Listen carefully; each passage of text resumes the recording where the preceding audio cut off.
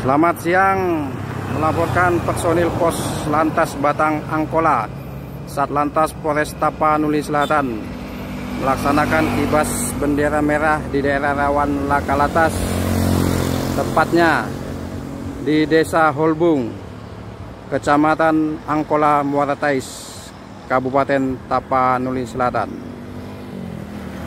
Agar pengguna jalan berhati-hati karena daerah ini sering terjadi kecelakaan. Sekian, selamat siang, terima kasih.